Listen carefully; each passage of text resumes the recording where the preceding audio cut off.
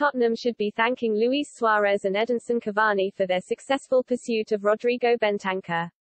The midfielder arrived at Spurs in a deadline day deal from Juventus for a fee in the region of £21.5 million.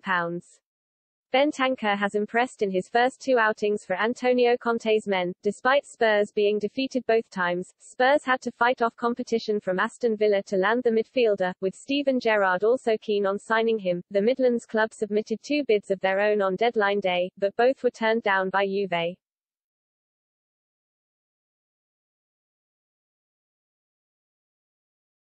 That allowed Tottenham to steal in under Gerrard's nose and secure a deal for Bentancur themselves but according to the man himself, the transfer may not have happened without the intervention of Suarez and Cavani. Bentancur has revealed that he sought out the duo's advice as Tottenham's interest became clear, with all three on international duty with Uruguay at the time. I was following my situation, transfer to Tottenham, while on international duty, Bentancur told Sky Sports, as soon as Luis Suarez found out that there was a possibility of me coming to play in the Premier League, and for Tottenham, he made himself available to give me as much information as I required.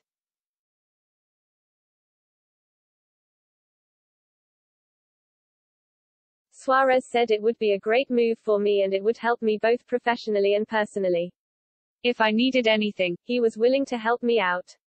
Suarez previously featured in the Premier League for Liverpool, while Cavani is currently at Manchester United, and Bentancur has disclosed that their discussions with him pushed him to sign for Conte's side.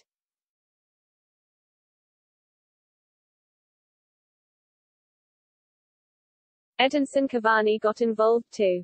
I asked him about the move, even though he will be an opponent. He added, he said it was a spectacular league to play in and it would benefit me greatly. They both said what a fantastic league it was. I knew it was a big step in my career, so to get information and background on the league was very important. It was a decision that I didn't hesitate in taking.